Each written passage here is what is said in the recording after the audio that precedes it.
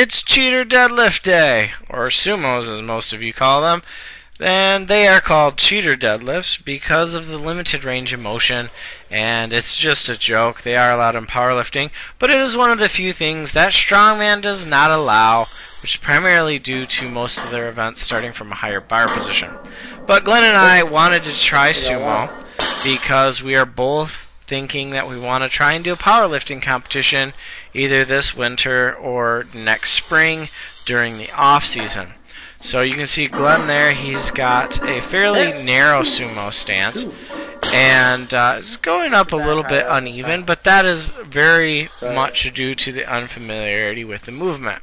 And one of the things that Glenn was struggling with is letting his hips shoot up and trying to turn the sumo deadlift into a conventional pull with a wider stance. I mean, just sumo deadlift, you want to have your back in a more upright position and it should be easy to lock out, hard to break off floor.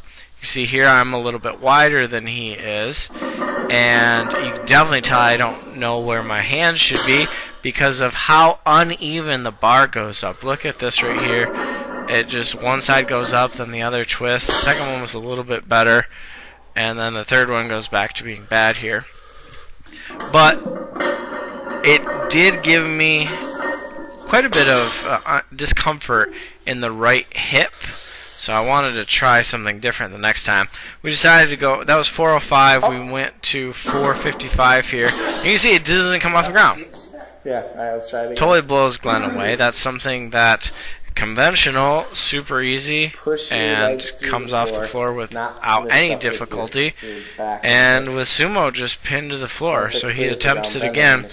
But that's something that you always have to remember. If you don't train it, don't expect to be good at it. Some people can go to sumo and just do very well without training Some it, awesome most people aren't do, aren't going to be able to do that. And Glenn does have a narrow stance. You can see I went a little bit narrower and almost fell over.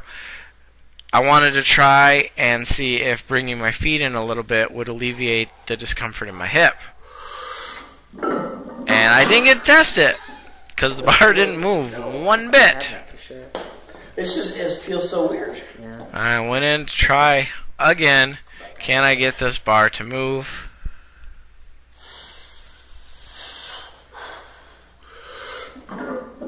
And today was the day that Gravity won. So we're going to have to keep training sumo. But we wanted to go ahead and just throw a couple of conventional pulls in there just to get some work in. And you can see Glenn really kind of going slow with that rep. I think just trying to train sumo and using the different muscles it did fatigue us a little bit more than I would have expected. You can see me, these are really slow pulls. Not happy with that at all. And of course, crying about my hands. But here we wanted to do pause deadlifts, uh, double pause. Glenn misunderstood what we were doing here in the beginning.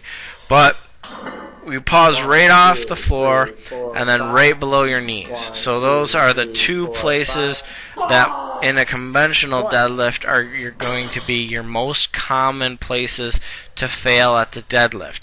Typically, for most lifters, if you can get it above your knees, you will be able to lock out the conventional deadlift.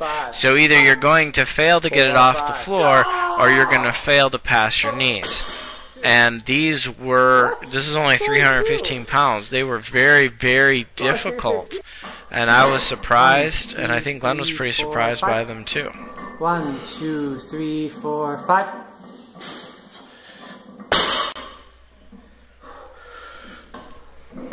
One, two, three. Four, Again, just five. right off the floor, One, two, right to the knees. Four. And we were doing a, a five count pause. I don't think that that's necessarily something that you need to do. I've seen people do just a slight pause or a two One, second two, pause. Three, Basically, what you would do when you were training your pause bench press for a competition, and they do that with the deadlifts.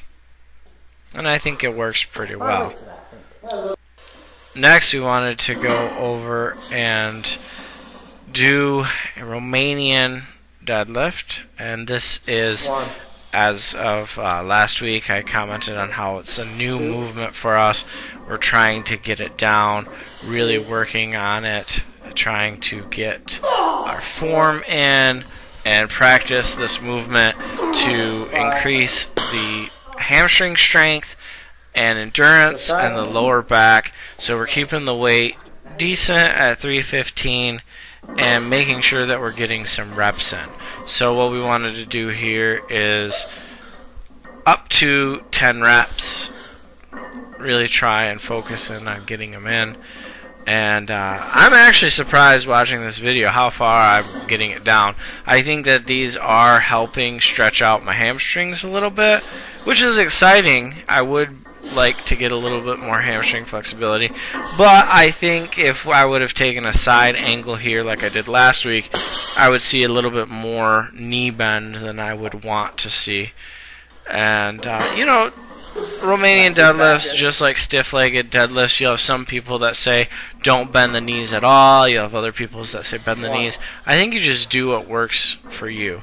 And what we were really trying to do is picture in our heads where would we be in this position in our deadlift. So Glenn deadlifts a little bit different than me, and I deadlift a little bit different than him. Where would we be? Let's work on that part of the movement, train it, and get more efficient at the deadlift.